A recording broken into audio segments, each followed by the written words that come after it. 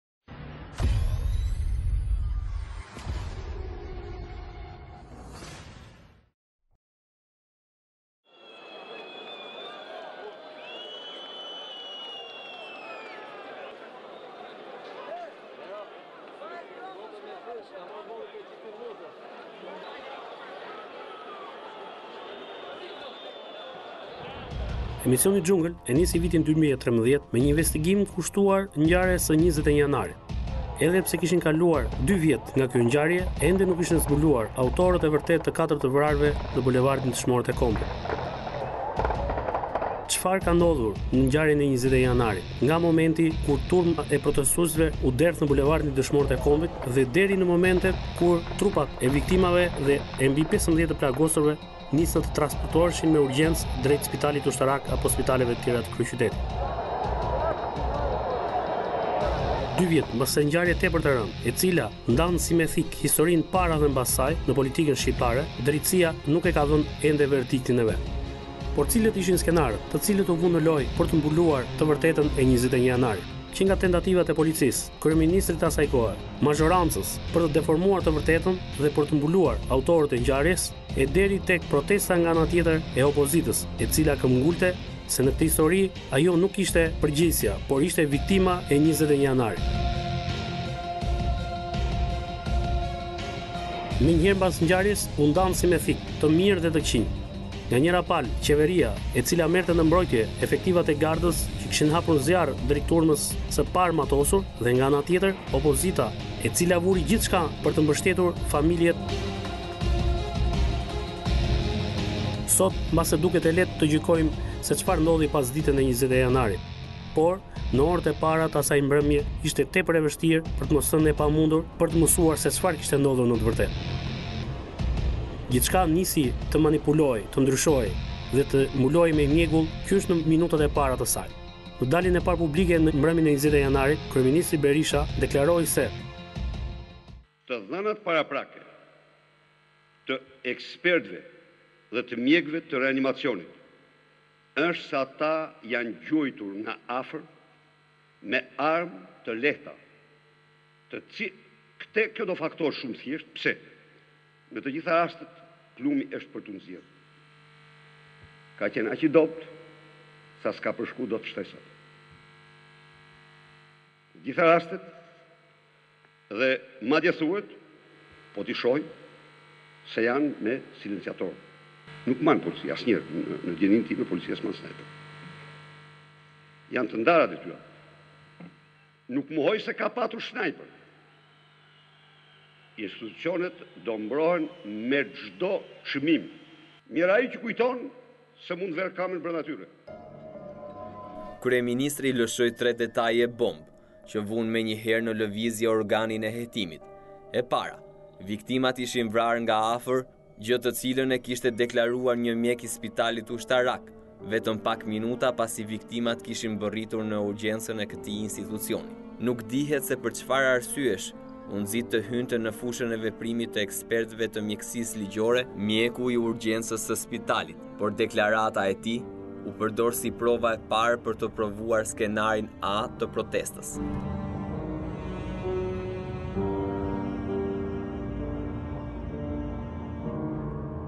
Doktor edhe personi i tretë ka, le të themi, ka vdekur nga një plumb Nga një plumb në kokë. Në kokë. Edhe kjo nga distancë e afërt? Ne kemi një eksperiencë prej njëzet, prej tetëmbëdhjetë vjetësh me plagë të armëve të zjarrit. Po.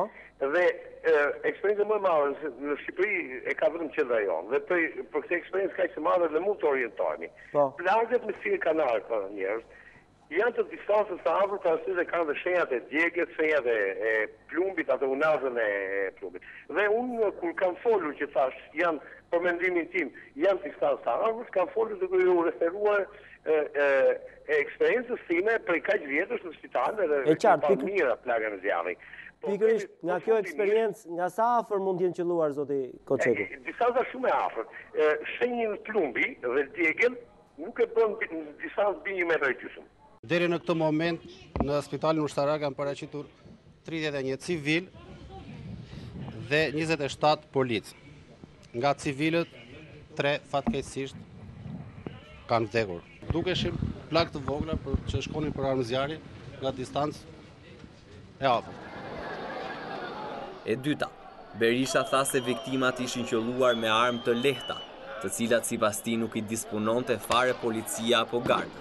Ekspertiza e mëvonshme e plumbit që vrau Ziver Veizin tregoi se ai ishte vrarë pikërisht nga një armë e Njësisë Speciale të Gardës, automatiku nëntë milimetrësh MP pesë, i cili në asnjë rast të deritanishëm nuk ka rezultuar të ketë qenë në duart e grupeve kriminale shqiptare, është vetëm në zotërim të gardës. Të njëjtën gjë provoi dhe ekspertiza e FBI-së për pistoletën Beretta të komandantit të gardës, Ndrea Prendi, sado që ky i fundit u mundua të fshihte gjurmët duke ndërruar pjesët e pistoletës së tij tytën dhe gjilpërën me ato të shoferit të vet. Por deri në mbrëmjen e vonë të njëzet e një janarit, askush nuk e vinte në dyshim atë që thoshte kryeministri mbështetur dhe mbi deklaratat publike të mjekëve të spitalit ushtarak. Tani do t'u them dy fjalë mercenarëve, kriminelëve, banditëve që sulmuan dje kryeministrinë me të gjitha mjetet, gurë, shkopi, armë, bomba molotov dhe që u bënë shkak i katër viktimave në ato përleshje. Mos u bëni të mirë mish për top. Puçist dhe bandit të brendshëm nuk do mund ta bëjnë kurrë këtë pa u përballur me të gjithë forcën e ligjit, gjer në asgjësimin e plotë të mundësisë së tyre për të sulmuar institucionet demokratike të qytetarëve të lirë shqiptarë. E treta, kryeministri fajësoi protestuesit se kishin goditur njëri-tjetrin dhe për këtë, menjëherë pas deklaratës së tij në YouTube u hodh një video e detajuar, nëpërmjet së cilës argumentohej se vrasësit ishin pjesëtarë të turmës. Për ironi të fatit, kamera që i kishte filmuar këto imazhe ishte e vendosur në dritaret e kryesisë së Kuvendit. Ju që ishit në të katër anët e kësaj situate me kamerat tuaja, Pse s'arritët të filmonit njërin prej tyre? Si nuk arritët ju qoftë dhe njërin prej tyre? Çfarë ndodhi me kamerat tuaja? Ju keni dhënë të gjitha. Madje unë gjova një telekronist tuaj që tha se më ka marrë plumi, pastaj doli se s'e kish marrë plumi. Kur në mbrëmje vonë rreth orës njëzet e tre e pesëmbëdhjetë minuta, News njëzet e katër publikoi pamjet me versionin real të asaj që kishte ndodhur, situata mori një tjetër rrugë. Këndi i plotë i pamjes i përfshinte të gjithë në një kuadër, nga vrasësit deri tek viktimat. Shihej qartë që gardistët kishin qëlluar dhe vrarë. Shihej qartë një ushtarak i gardës që kish qëlluar në drejtim të njerëzve. Kamera kapte flakën e automatikut dhe rrëzimin e viktimës Ziver Veizi në të njëjtën kohë. Dalja e pamjeve që tregonin qartazi se çfarë kishte ndodhur me viktimat dhe kush ishin vrasësit e vërtetë, krijoi një pështjellim të madh duke e hedhur poshtë versionin A të trumpetuar me aq bujë deri në ato momente. Opozita kishte kaluar nga e akuzuar për vrasjet në viktim të tyre, ndërsa qeveria nga akuzuese në autore të vrasjeve të demonstruesve të pafajshëm. Ku je Sali? Ku i ke provat e ndyrësive që nxore sot nga goja, për opozitën, për drejtuesit e saj, për mua personalisht, duke na akuzuar si vrasit e të vrarëve që në fakt, ashtu siç e pa tani, mbarë Shqipëria, me zë e me figurë, janë viktimat e pushtllëkut të pakufishëm të pushtetit tënd të marrë fund. Emisioni Xhungël, në investigimin e radhës, u mundua jo thjesht të hedhi dritë mbi atë që ndodhi në 20 janar, por si u fsheh e vërteta, si u morën në mbrojtje autorët dhe ekzekutorët e 20 janarit, si u prishën provat, si u shkatërruan filmimet dhe si u bë presion ndaj organeve të drejtësisë për të shpëtuar autorët e ngjarjes nga ndëshkimi i ligjit. Jo më kot, edhe sot kur janë bërë tre vjet nga njëzet e një janari i vitit dy mijë e njëmbëdhjetë, drejtësia shqiptare nuk ka folur në lidhje me këtë ngjarje, për të mos thënë që nuk ka dënuar askënd si autor të katër të vrarëve në bulevardin Dëshmorët e Kombit, ndërsa familjet e viktimave janë ende në pritje të ndëshkimit të autorëve të kësaj ngjarje tepër të rëndë.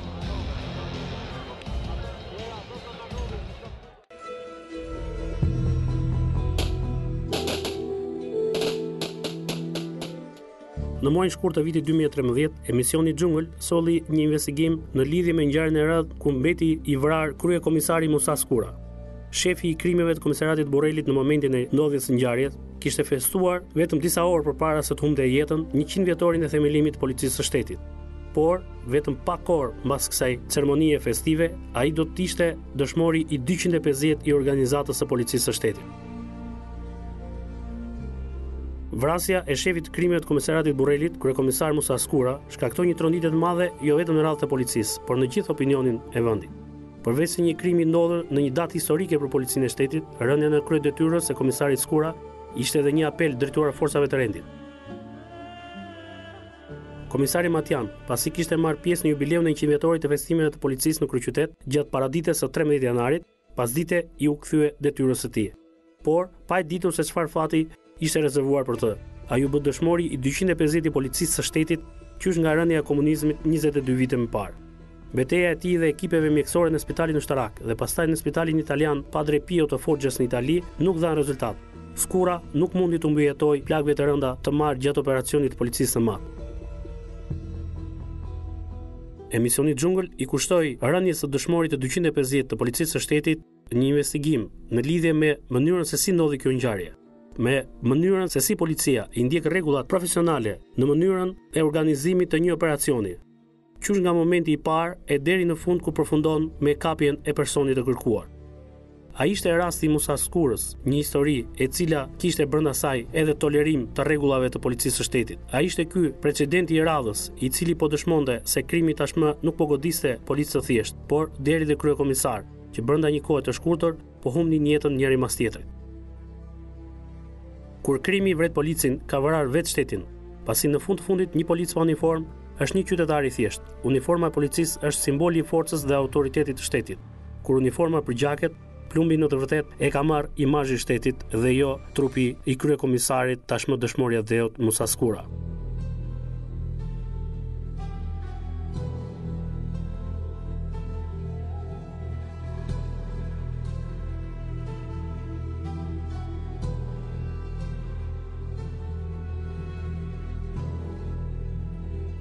Komisarët kurajozë janë me të drejtë të revoltuar, teksa shohin shokët e tyre të vriten dhe drejtuesit e tyre më të lartë të bëjnë përditë zullume në shpërdorim të detyrës.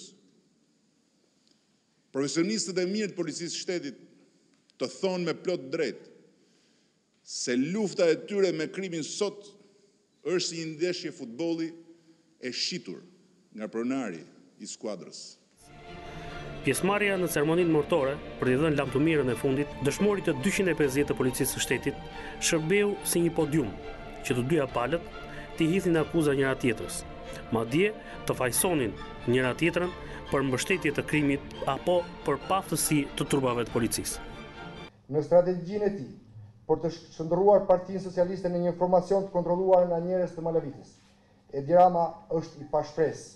Përdorimi i kandidatëve me precedent penal në zgjedhjet lokale të të vitit dy mijë e njëmbëdhjetë dhe mbështetja e tyre nga një anturazh deputetësh të përfshirë në strukturat ndërkombëtare të krimit të organizuar E çoi atë në humbje. Shqiptarët kanë sy po kanë edhe veshë. Për të kuptuar se ku është katandisur policia e shtetit, mjafton të shohësh organizimin strukturor. Një drejtori e përgjithshme që gjatë këtij mandati të vjedhur është fryrë mbi dyfish. Duke e kthyer dhe ish konviktin e deputetëve si një komitet partie, ku janë sistemuar gjithë farë militantësh, pasi kanë marrë dhe nga një gradë në kundërshtim me ligjin. Dyqind drejtorë me kompetenca të mbivendosura, s'merret vesh kush bën çfarë, dhe sigurisht drejtorë që nuk drejtojnë, po drejtorë që drejtohen. dhe heraherës drejtohen në një rrugë tjetër, ndërkohë që nga ana tjetër i hapet rrugë krimit.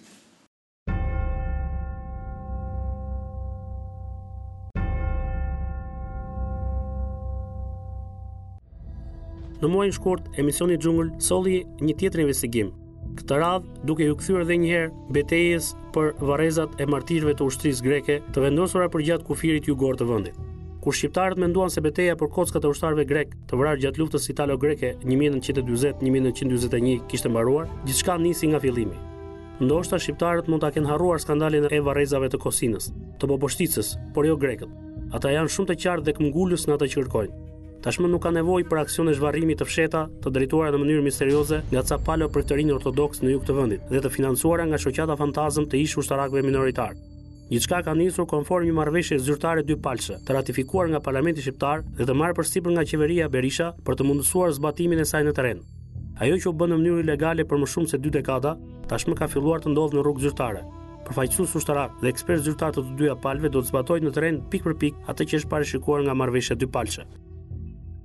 Në investigimin e kryer nga emisioni Xhungël, rezultoi se në zbatim të marrëveshjes së bashkëpunimit ndërmjet Shqipërisë dhe Greqisë, Ministria e Punëve të Jashtme e vendit fqinj i ka kërkuar Shqipërisë leje për të kërkuar në 696 vende të ndryshme brenda territorit të Republikës së Shqipërisë, kryesisht në jug të vendit, për eshtra të ushtarëve grekë të vrarë në luftën e dytë botërore.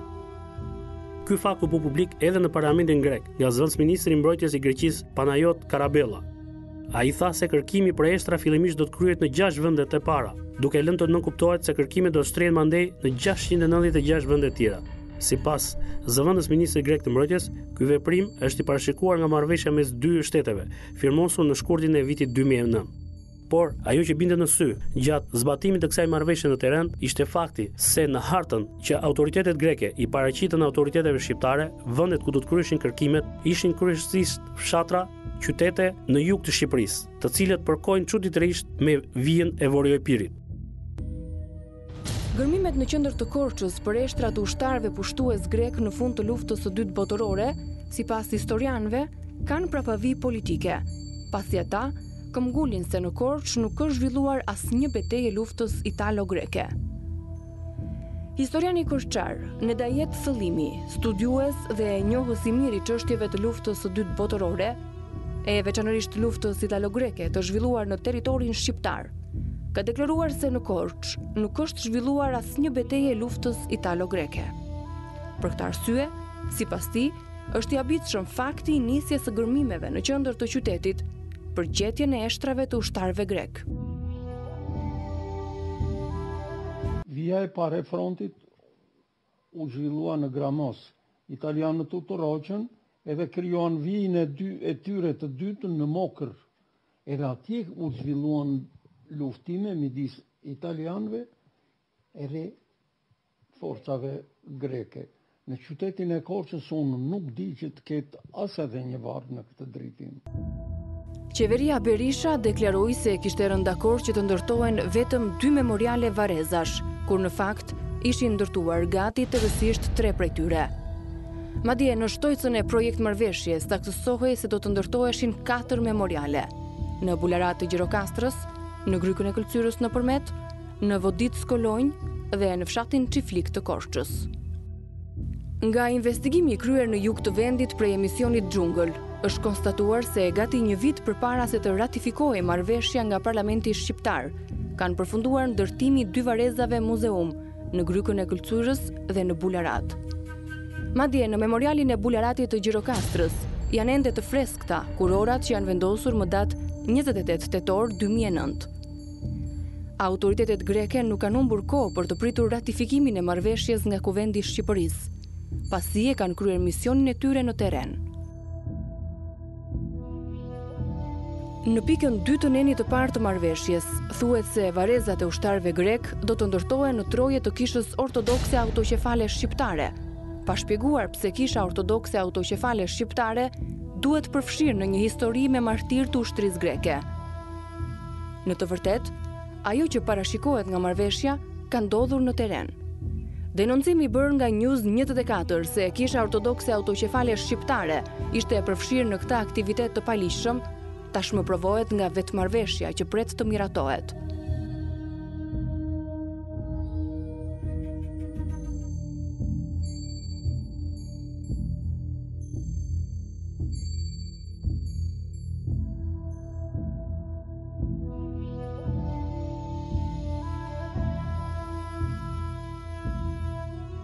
Kisha ortodokse autoqefale shqiptare dhe hierarku i saj anulatos nuk kanë pse të obligohen për përmbushjen e marrëveshjes pasi e kanë kryer me kohë këtë mision.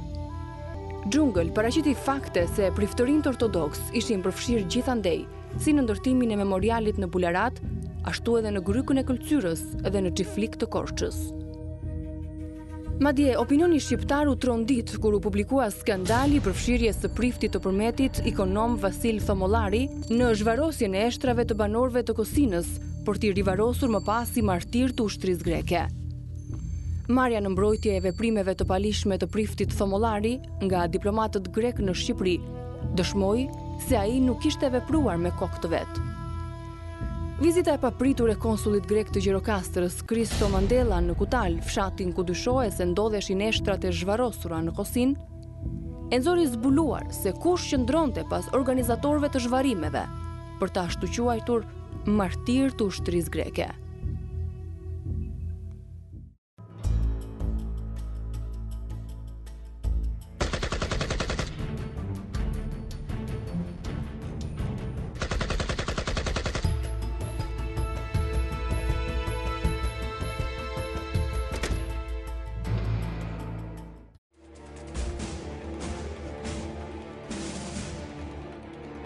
Në muajin mars, emisioni Xhungël solli një tjetër histori, këtë radhë kushtuar ekzekutimit mafioz të kryekomisarit Dritan Lamaj, i vrarë vetëm disa metra para banesës së tij në një atentat me autorë të panjohur.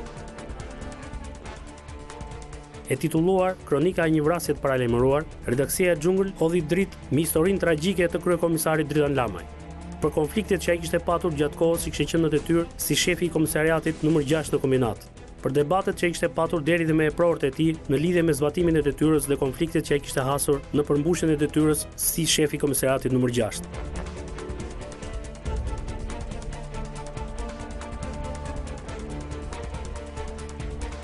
Në një emision të transmetuar në disa seri, Xhungël solli për herë të parë pamje ekskluzive të automjetit i cili dyshohet të ketë transportuar personin e akuzuar si autori i vrasjes së kryekomisar Dritan Lamaj.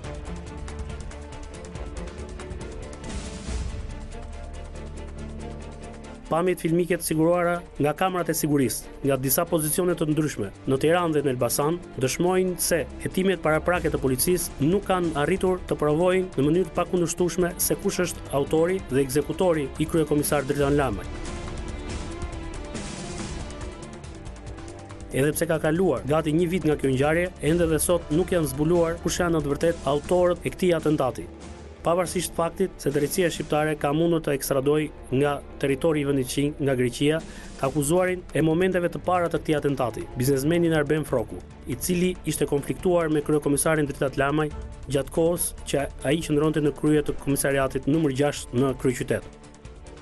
Xhungël sjell një investigim të detajuar mbi ekzekutimin mafioz të kryekomisarit Dritan Lamaj. Si u masakrua barbarisht me dy breshëri kallashnikovi kryekomisari 41 vjeçar, vetëm 50 metra nga banesa e vet. Kush fshihej pas vrasjes së tij? Pse policia nxitoi të shpallte në kërkim si autor të dyshuar të atentatit biznesmenin Arben Frroku, ndërsa kishte publikuar shpërblimin prej 100.000 dollarësh për personin që do të jepte informacion mbi autorin e krimit. Si nisi konflikti me të dyshuarin e policisë, biznesmenin Arben Frroku? Pse kryekomisar Lamaj kërkoi mbrojtjen e eprorëve të tij në policinë e shtetit pas kërcënimit që iu bë me vdekje? Kush fshihet pas kërcënimit me SMS vetëm pak minuta pas atentatit ndaj krahut të djathtë të Dritan Lamajt, i cili në momentin e ekzekutimit ishte në detyrën e shefit të komisariatit të një rrethi në verilindje të vendit? Pse e shitën drejtuesin më të lartë të Policisë së Shtetit, kryekomisarin Lamaj, duke e ditur se ai mund të vritej nëse largohej nga detyra si shef i Komisariatit numër 6 në Tiranë? E gjithë kjo u soll në një investigim në disa seri të transmetuar në emisionin Xhungël, ku u hodh dritë jo thjesht mbi ngjarjen, por edhe mbi pistat që kishin çuar deri në ekzekutimin mafioz të kryekomisarit Dritan Lamaj. Mesditën e 27 shkurtit, në media u publikuan disa foto të cilat kompromentonin pothuajse të gjithë kupolën drejtuese të policisë së shtetit.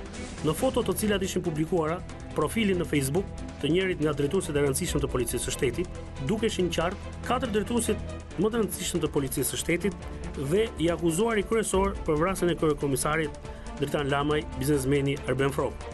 Publikimi i këtyre fotove shkaktoi gati një shok në publik dhe krijoi një tronditje në opinionin e vendit. Situata, ashtu siç edhe parashikohej, do të tensionohej së tepërmi dhe tashmë në valle do të futeshin edhe përfaqësuesit më të lartë të forcave politike, duke filluar qysh nga deputetët e Kuvendit të Shqipërisë dhe po ashtu ministra e deri tek kryeministri dhe shefi i opozitës. Është turp. Për parlamentin që të sillet sikur s'ka ndodhur asgjë ndërkohë që në Shqipëri sot është një një siguri publike tejet e rënduar. Dy minuta heshtje i meritonte nga parlamenti shqiptar ai punonjës shteti. Ndërkohë zonja kryetare në parantezë të fjalës që lidhet për vlerësimin strategjik mjedisor. Për çfarë vlerësimi strategjik mjedisor të flasim kur në sallë Ka frikë të vijë ministri i Brendshëm dhe të japi shpjegime për këtë fotografi. Po, po. Ti ke frikë, ti ke frikë nga Agron Kuliçi, zoti ministri i Brendshëm. Ti ke frikë dhe ke që dje që fshihesh dhe nuk del në asnjë ekran televizori dhe të japi shpjegime përse nuk i shkarkon këta katër barkderra. Policia e Shtetit është e tradhtuar. Më së pari nga eprorët, nga këta, në këto gostitë e çiftelisë me njerëz që pastaj rezultojnë si të implikuar apo të dyshuar që, ç'ka. Je ministri i parë që po varros kaq shumë komisarë dhe ministri i vetëm Mediokër nga koka te këmbët në luftën kundër krimit. Ja kjo është detyra juaj. Jepni dorëheqjen, çoni këta të katërt para drejtësisë, të hetohen për vrasjen e komisar Dritan Lamajt. Ju po merreni me këtë çështje. Unë për atë fotografi, në cilësinë e ministrit të Brendshëm, ju garantoj se kam urdhëruar të hapet një hetim i gjerë.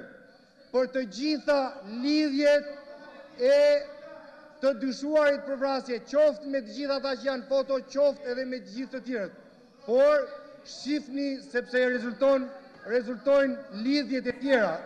Qoftë historia e kupolës së policisë shtetit, që është kthyer në organizatën më të rrezikshme kriminale të vendit, Janë dy anët e të njëjtës medalje.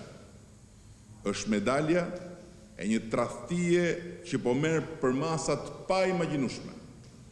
Tradhtia e qeverisë ndaj misionit kushtetues, ligjit, institucioneve, programit vet Po e po, dhe vetë popullit, i cili e paguan përditë në kurriz çmimin e lartë të kësaj tradhtie.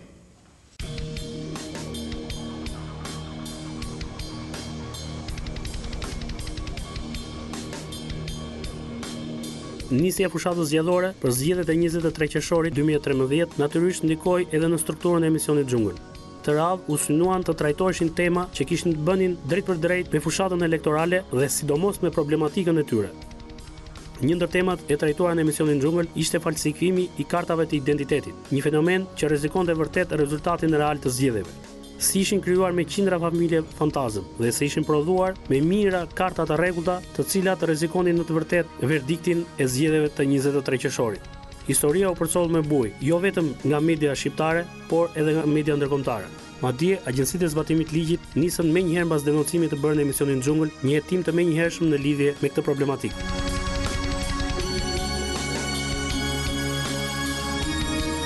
Një tjetër temë e trajtuar gjatë fushatës zgjedhore të qershorit dy mijë e trembëdhjetë ishin dhe incidentet e shumta të ndodhura gjatë saj. Bëhej fjalë sidomos për incidentet e rënda.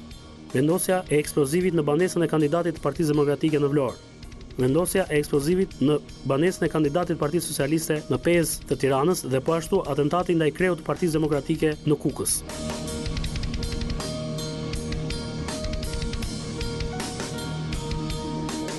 Investigimi i radhës i emisionit Xhungël ishte përfshirja e eksponentëve ultranacionalistë grekë të Agimit të Artë dhe të sillogjeve të tjera vorioepirote në zgjedhjet e njëzet e tre qershorit në Himarë.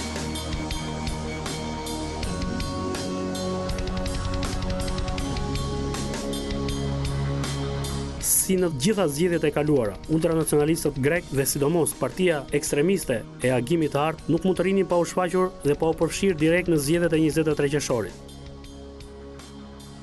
Xhungël solli me pamje ekskluzive implikimin e politikanëve dhe eksponentëve të këtyre forcave ultranacionaliste në zgjedhjet e Himarës, ndikimi i tyre dhe pafuqishmëria e shtetit shqiptar për të penguar që elementë të tillë të trazojnë rendin dhe sigurinë në Republikën e Shqipërisë.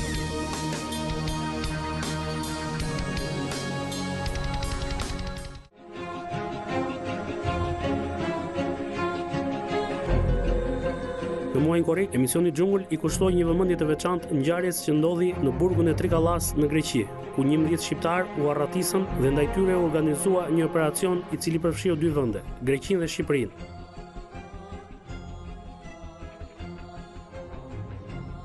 Qysh në momentet e para u duk se ata ishin të shënjuar për t'u vrarë. Për këtë shkak titulli i emisionit ishte të dënuar me vdekje. Xhungël solli një investigim të plotë nga momenti i arratisjes e deri në çastet kur mbeti i vrarë personazhi kryesor i kësaj arratisje Marian Kola. Më 23 mars 2013, Njëmbëdhjetë shqiptarë mundën të arratiseshin nga burgu i Trikalës, pas një përleshje me gardianët, duke lënë të plagosur dy prej tyre. Tre prej të arratisurve u kapën menjëherë, ndërsa tetë të tjerë u thanë lamtumirë qelive.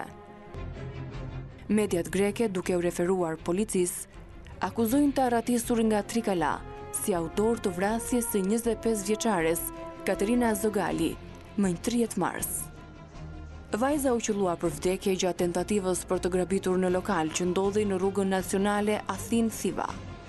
Shqiptarët e arratisur dyshohet të jenë edhe autorë të vrasjes së policit Jorgo Andricopulu në vendin e quajtur Distomo, grabitjes së një shume parash prej 1 milion euro në Larisa, si edhe disa grabitjeve të tjera. Shqiptarët u kthyen në qendër të vëmendjes, pasi u pikasën në afërsi të burgut të Dhomokos, ku ndodhej tmerri Alket Rizaj, njeriu që ka mundur disa herë të arratiset nga qelitë greke. Në tentativë për t'i ndaluar, policia greke ekzekutoi Flamur Muratin dhe Ermir Sinanin, xhaxha e nip, Ky i fundit i arratisur nga Trikala.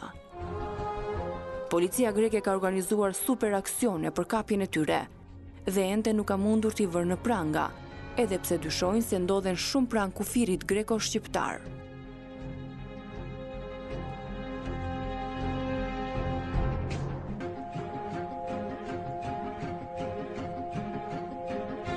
Personi më i kërkuar në Greqi katër muajt e fundit, 36 vjeçari shqiptar Marian Kola, tashmë nuk jeton më. Ai mbeti i vrarë në orët e para të mëngjesit të së dielës së 21 korrikut 2013, gjatë një shkëmbimi zjarri me policinë greke. Ky është varianti i palës greke që ka ekzekutuar brenda 18 ditësh tre shtetas shqiptarë, të cilët sipas policisë fqinje, kërkoheshin edhe për dy vrasje të kryera gjatë kohës që ishin në arrati.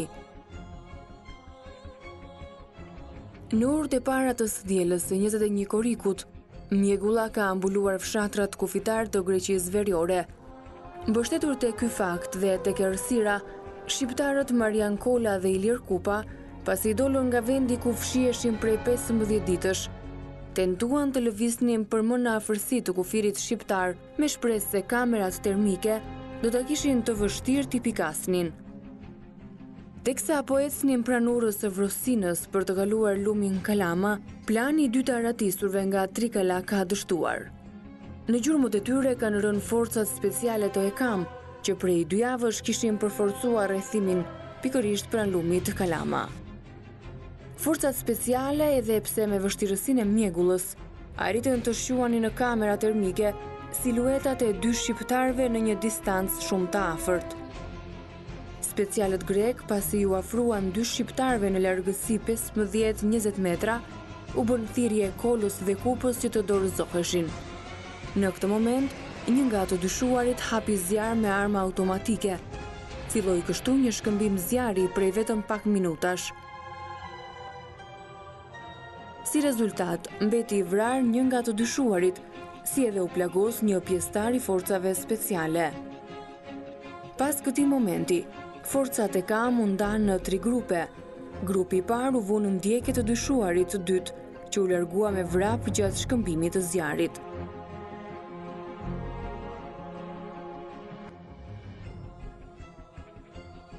Grupi i dytë qëndroi pranë kufomës së Marian Kolës, kurse grupi i tretë i forcave speciale EKAM transportoi efektivin e plagosur për të marrë ndihmën e parë mjekësore.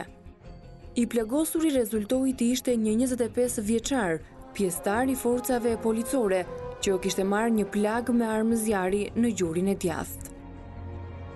Ai u dërgua në spitalin Haxhikosta të Janinës, ku iu nënshtrua një operacioni dhe tashmë ndodhet në gjendje të mirë shëndetësore. Policia vazhdon kërkimet për kapjen e të dyshuarit të dytë, madje në momentet e para të ngjarjes, u tha se Ilir Kupa ishte i plagosur dhe tashmë ishte çështje orësh arrestimi i tij. Në vendngjarje u prit zbardhja e ditës për të nisur hetimet dhe për të identifikuar viktimën.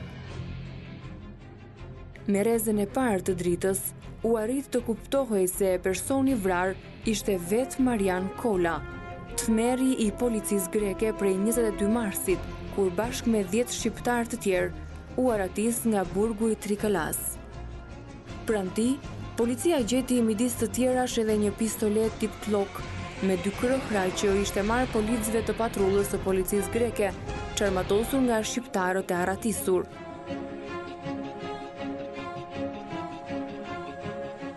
Unë për vete time për shtetin grek se Marjani ka bo sherr atje nuk e di.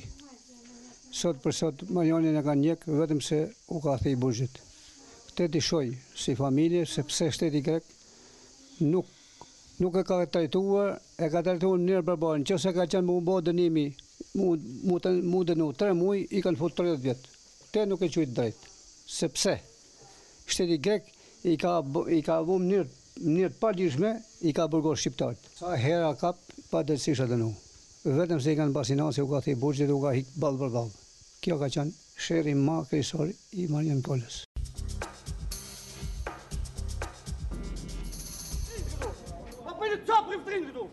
Ja këta, pandi!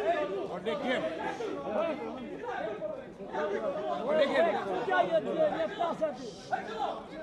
Një tjetër histori e trajtuar vazhdimisht në emisionin Xhungël ishte drejtësia e vonuar, e cila më në fund u vendos në Pallatin e Kulturës së qytetit të Përmetit. Për më shumë se 13 vjet me radhë, Bashkia e qytetit të Përmetit dhe banorët e këtij qyteti kishin ngelur pa qendër kulturore, pasi brenda saj ishte vendosur prifti i qytetit i cili e kishte zënë objektin forcërisht dhe nuk pranonte të largohej prej andej, pavarësisht se të gjitha gjykatat shqiptare, nga shkalla e parë e deri tek ajo Gjykata Kushtetuese, ishin shprehur që ky objekt t'i rikthehej sërish qytetarëve të Përmetit. Flamuri shqiptar u rivendos mbas gjashtëmbëdhjetë vitesh mbi Pallatin e Kulturës Naim Frashëri të qytetit të Përmetit, në sajë të një veprimi të kryer nga përmbarimi privat dhe i cili u mbështet po ashtu nga një polici private. pasi Policia e Shtetit nuk denjoi të ndërhynte për zbatimin e vendimit të gjykatës, madje i la pa mbështetje përmbaruesit privatë, duke e ditur që do të kishte një protestë të ashpër nga autoritetet e vendit fqinj Greqisë.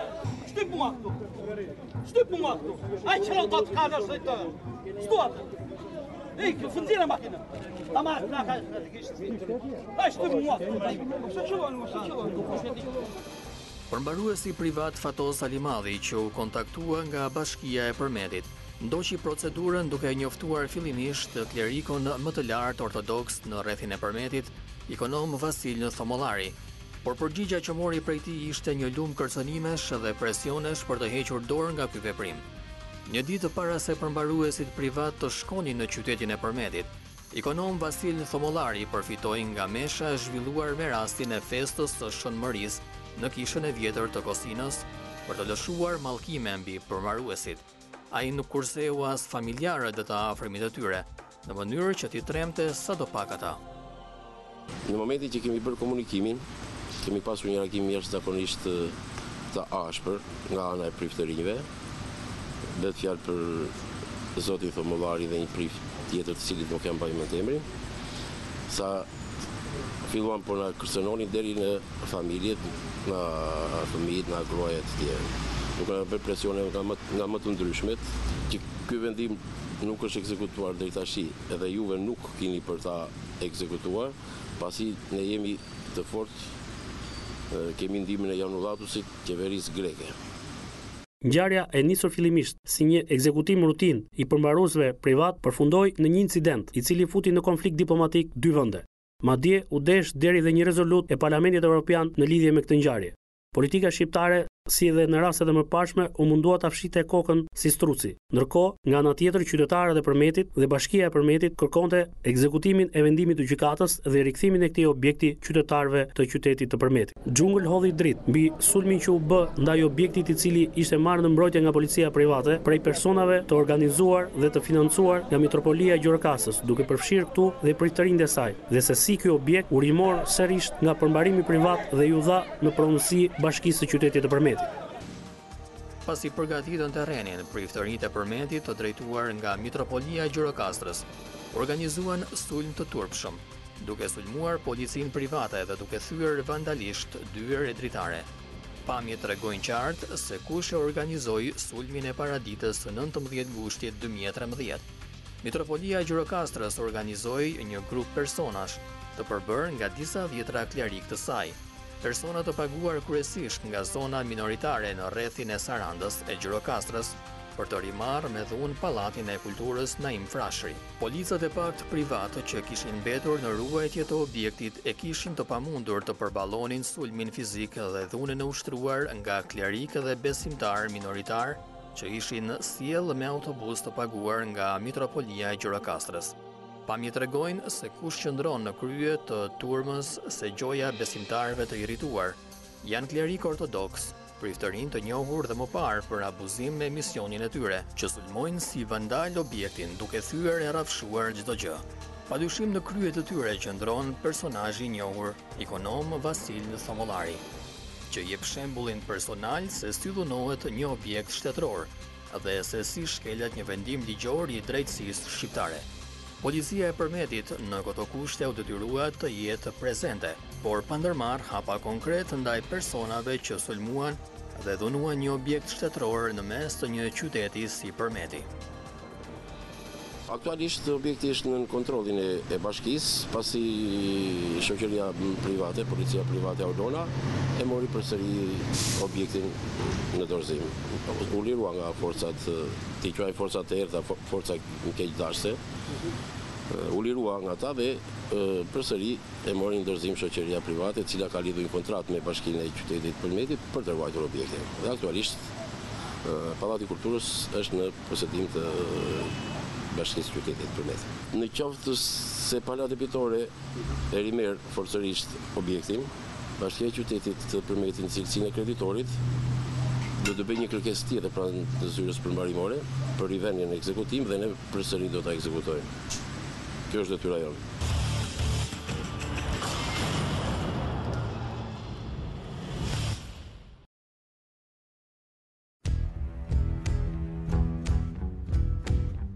Një tjetër histori e cila zuri vënd në emisionin Xhungël të radhës me një investigim të plotë, ishte ajo me titullin i katërti.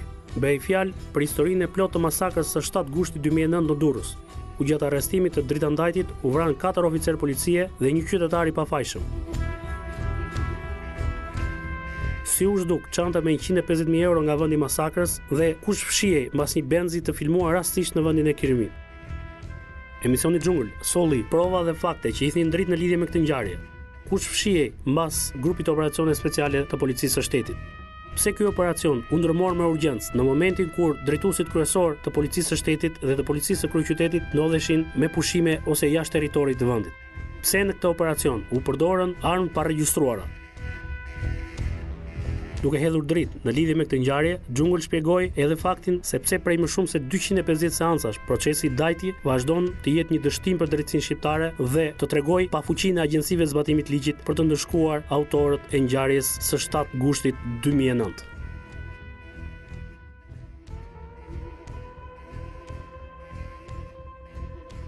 Pavarësisht faktit se policia dhe prokuroria e krimeve të rënda nuk kanë arritur të dokumentojnë me prova ekzistencën e të katërtit në masakrën e 7 gushtit 2009, personazhi anonim ka lënë pa dashje në panik e sipër një gjurmë mjaft të rëndësishme.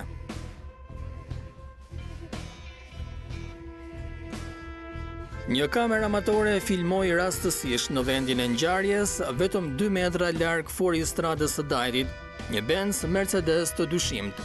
Nuk është sqaruar kurrë për çfarë arsyesh autovetura ngjyrë gri mbeti jashtë vëmendjes së policisë në momentin e rrethimit të vendit të ngjarjes dhe marrjes së provave materiale. Nga të dhënat zyrtare që ka siguruar emisioni Xhungël, kjo autoveturë nuk u ndalua kurrë nga policia.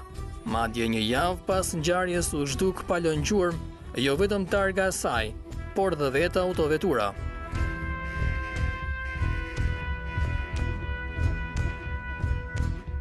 Në momentin që makina ka qenë e ndaluar, Tuaregu ka qenë i ndaluar, Ju thatë që ka qëndruar të paktën 20 minuta. Ndërkohë dhe në kërkesën për gjykim thuhet që makina është gjetur me motor të ndezur. Domethënë ka qenë në në gjendje të ndezur. Ku ka qenë dy personat e tjerë që pretendohet që kanë qenë me ë Dajtin atë ditë. Domethënë njëri nga ata i cili mbeti i vdekur, Ledion Mara dhe kunati i tij kanë qenë të pozicionuar pranë Tuaregut, në brendësi të tij apo në një pozicion tjetër që ka dalë dhe nga provat që e shifnin apo jo makinën e Tuaregun ku ishte ndaluar dhe i shifnin apo jo trupat e policisë në momentin që ato erdhën dhe u vunë në veprim. Jemi përpara dy momenteve, si me thënë, versionit zyrtar të kërkesës për gjykim dhe versionit, versionit zyrtar të provave. Mhm. Versioni zyrtar i kërkesës për gjykim i vendos jo dy, po tre persona, mhm. i vendos mbrapa Tuaregut, tre persona. Po. Erges Gjorgjin, kunatin e Dritan Dajtit, Ledion Marën, viktimë po. e ngjarjes, dhe një person tjetër të paidentifikuar që siç thamë më parë u tentua të po, neutralizohej, është ky personi 4 që... Dhe në këtë në këtë version mhm. që thuhet vetëm personi 4 tentoi që Të ikte. Dy personat e tjerë nuk janë vendosur fare në kërkesën për gjykim se ku kanë qenë më pas. Ndërsa në në për sa i përket versionit zyrtar të provave mhm. që janë administruar, rezulton që të dy personat, mhm. se për person të tretë, nuk ka absolutisht asnjë provë, mhm. ose më saktë për personin e katërt, që u neutralizua, nuk ka asnjë provë përveç deklarimeve, thuhet, domethënë kanë qenë vendosur në mes të kësaj rrugice. Në investigimin e kryer nga Xhungël rezulton e provuar se është pikërisht autovetura Benz Mercedes, ajo që ka sjellë në vendin e krimit personazhin anonim, i identifikuar si i katërti. Ky mjet është parkuar përkrah fuoristradës të Dritan Dajtit, vetëm dy metra larg për shkak se prej tij ka dalë personi i cili më pas hipi në sediljen e parë të pasagjerit të Tuaregut me targa italiane. Autovetura ka qenë në pritje të përfundimit të kontaktit mes Dajtit dhe të katërtit, në mënyrë që të largohej sa më parë të ishte e mundur nga vendi i ngjarjes. Por mënyra se si rrodhën ngjarjet gjatë ndërhyrjes së skuadrës së operacioneve speciale dhe vrasjes së pesë personave, e bëri të pamundur largimin e tij nga skena e krimit. Në momentin që ka ardhur policia dhe edhe më mbrapa kur është bërë, domethënë këqyrja e vendngjarjes, është konstatuar që Tuaregu është gjetur me derën e parë hapur derën e pasagjerit. Që kjo nënkupton që ka qenë një person tjetër. A ka të dhëna, a ka informacione, a dihet kush është ky person? Faktikisht dera e Tuaregut që nga momenti i ngjarjes mhm. dhe derisa ka mbaruar këqyrja mhm. ka qenë e hapur. Gjë që tregon askush, domethënë nga punësit e policisë nuk ka deklaruar që ka hapur derën e parë të Tuaregut. Pra, ajo ka qenë e hapur, gjë që tregon që dikush në sedilen e parë ka qenë të pasagjerit ka qenë. Ky fakt përveç se fiksimit që është bërë në tabelën fotografike të mjetit dhe te këqyrja te këqyrja e automjetit nuk figuron, domethënë nuk është trajtuar më qoftë në kuptimin e hetimit, qoftë dhe në kuptimin e vlerësimit si provë për të identifikuar një person i cili ka qenë nëse ka qenë ose e kundërta që ta rrëzonin si që të dilte dikush dhe thoshte e hapëm ne gjatë këqyrjes dhe e mbyllëm apo por kjo ka ndodhur para këqyrjes domethënë fotografitë që janë aty janë përpara këqyrjes po. janë të administruara këto në fashikullin e gjykimit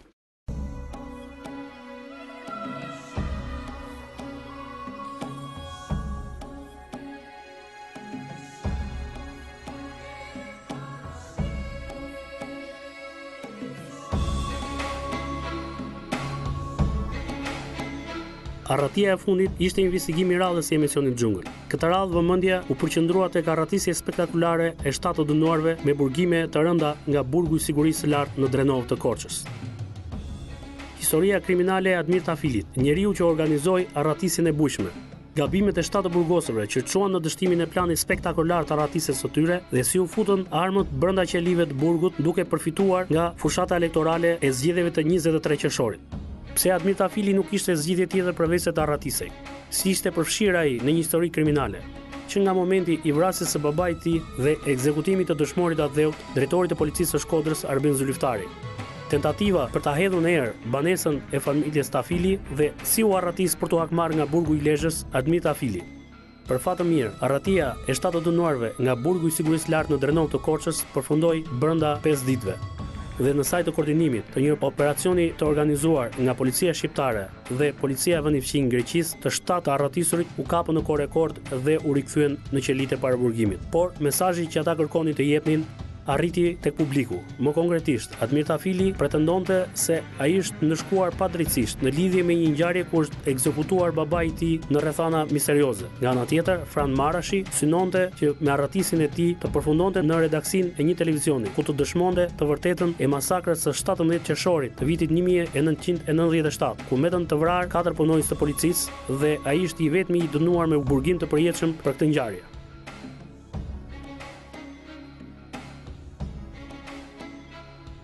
Kam marrë këtë vendim mu largu nga burgu, nga që nuk më është nuk më është pranu një herë gjykimi i shkurtu nga gjykata e rrethit Shkodrës për veprën e parë që kam ba. Plus më ka dënu i njëjti gjyqtar që më ka dënu për të njëjtën vepër, më ka dënu edhe herën e dytë, kam ba tre herë kërkesën për me largu dhe nuk ma largun. Atëherë normale që do veprojmë vet, do bëjmë vetëgjyqësi se s'ka tjetër këtu. Nuk dina ku me gjet drejtën, as dina ku me kërku. Kam fut armë, të gjitha, i kam fut vet me qëllimin mu largu nga burgu. Jo me marr jetë njerëzish, por me bë diçka, me fjalë, me bë diçka të madhe që me na me na me na shku fjala në vesh dikuj se s'është s'na ka shkuar la deri sot. Me pa dash me marr jetë njerëzish që kena pas në dorë, me marr. Shokët e mi Fran Marashi dhe Gëzim Guri, s'kanë dit asni gja me fjalë për sa i përket kësaj arratisje, vetëm momentin e fundit kur jam përgati, jam bë gati, i kam thënë, a jeni me, me, me dalë? Po, më kanë thënë. Me çfarë mënyre? Kjo është mënyra. Kam armë, dalim. Unë e kam bë për këtë arsye, dikush tjetër e ka bë për arsye tjetër, dikush e ka bë se si rrihet më në burg. Unë, kur kam ba gjithë ate, kam pas mundësi me pas edhe një makinë, me msy rrugën e Greqisë, apo me marrë një shpi me qira këtu, m'u fut aty mrena mos me m'gjet njeri. E kam ba rrugën, vetëm e vetëm me shku në Tiranë me arri nji studio televizive, se këtë e kam deklaru mas arratisjes të burgut Fushë Krujës, këtë deklaratë kam ba, që unë vetëm du t'arri nji studio televizive ku të kem mundësi me fol. Ta morrin vesh gjithë publiku sin zoti gjykatës me pas vra gjithë ato njerëz n'Berat jetojmë n'Shqipëri nuk më kishte jetu mu familja lart e poshtë nëpër burgje ma kishin vra vllanë e nusen e fmijtë e baben e nuk ta fal kush në Shqipëri po e dinë shumë mirë edhe ato njerëz unë bile skam pas mundësinë mi dhon mi ngushëllu për kryt fmijëve skam kenë n'ngjarjen e urës vajgurore ditën që ka ndodhë ngjarja jam krejt i pafajshëm e e verteton kush dojnë vetëm se thuj ti s'dojnë me punu edhe ta lanë me kapak. Për këtë që kam bo më denoni sa t'doni nuk kërkoj as mshirë as asnjë gja nji pistoletë kam pas ma ka dhon nji bashkëvujtës i imi më dëno sa t'dush për të as nuk kam marrë njeri peng t'ju dal dëshmitar gjithë policët e se si i kam fol e kam pas pistoletën në dorë vetëm i kam ul gjelin vetëm kam ba presion me gojë i kam thon po s'veprove kështu si t'them do të vras se un s'kisha si mi thon ndryshe e kupton as s'e kam marrë peng as s'i kam sha as s'i kam ofendu as s'i kam prek me dorë krejt qetë krejt normal.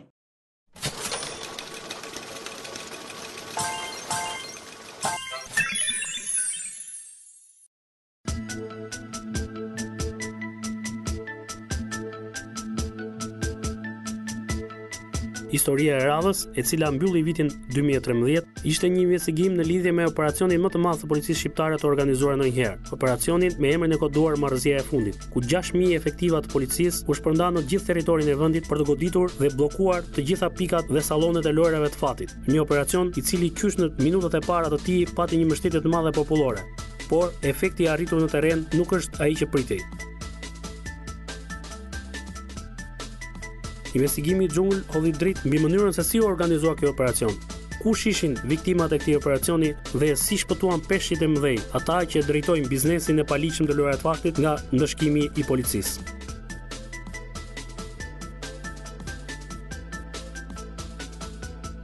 Pas analizës së fazës së parë të aksionit, vendosëm të shkrihet seksioni i krimit ekonomiko-financiar në çdo drejtori të policisë në qark. Të gjithë efektivët e policisë në këto seksione pezullohen dhe do i nënshtrohen një hetimi të thelluar nga Shërbimi i Kontrollit të Brendshëm, Drejtoria e Standardeve pranë Drejtorisë së Përgjithshme të Policisë së Shtetit dhe nga Inspektimi i Ministrit të Brendshëm. Hetim që do të marrë në shqyrtim të gjitha praktikat e deritanishme lidhur me lejimin e paligjshmërisë të lojërave të fatit, procedimet policore dhe penale të kryera deri më sot, deri te deklarimi dhe verifikimi i pasurisë për secilin prej efektivëve të policisë në këto seksione. Efektivët e policisë të seksioneve të krimit ekonomiko-financiar në Drejtoritë e Policisë në qarqe, të cilët pas verifikimit do rezultojnë se kanë kryer punën ndershmërisht, do rikthehen menjëherë në detyrë. Ata që do rezultojnë se nuk kanë bërë detyrën ose janë përfshirë në aktivitete të paligjshme, do të jenë subjekt të masave administrative ose do përjashtohen nga Policia e Shtetit duke iu nënshtruar hetimit penal.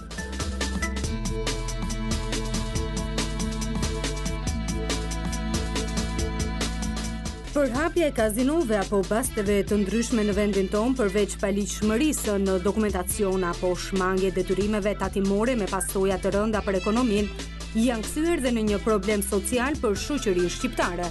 Pasojat sociale të kumarit kanë sjellë shkatërrim të familjeve, falimentim të bizneseve deri vrasje e vetvrasje. Sindroma patologjike e kumarit lidhet me persona neurotikë, si një pamundësi për t'i rezistuar impulseve të kumarit, dëshirës së pandërgjegjshme për të humbur ato që kanë fituar në lojë. Është e përhapur më tepër tek meshkujt sesa tek femrat. Ajo fillon shpesh, rreth moshës së adoleshencës, tek meshkujt dhe në vitet e mesit të jetës tek femrat. Kumarxhinjtë patologjikë janë shumë energjikë dhe lehtësisht të prekshëm, anksiozë, stresantë e të depresuar kur humbin në lojë. Krimet e kryera nga kategori të tilla personash lidhen kryesisht me përfitimet e vlerave monetare, Vetëm në Tiranë gjatë vitit 2013, sipas statistikave zyrtare, ka patur një tendencë në rritje të grabitjeve të kazinove dhe lojrave të fatit.